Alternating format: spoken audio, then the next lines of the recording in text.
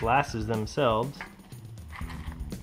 and some replacement clear lenses in case you don't want to use them for sunglasses. Let's open up.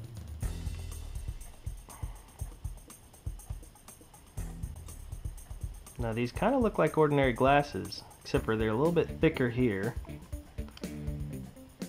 And there is a lens right in the middle here, which I don't know if someone would notice. And here looks like a USB uh, charger or plug. And here would be where you put the memory card, I'm sure. Let me see if I can open this. So I don't know. Let me um, let me boot these up, and I will try them on, and we'll go from there.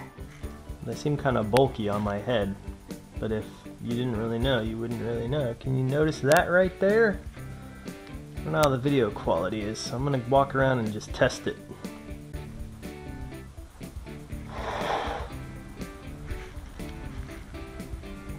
It's my crappy backyard.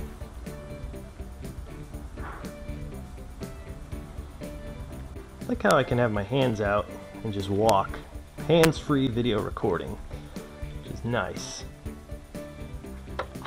I'll check out my son's room, see how this Star Wars stuff looks.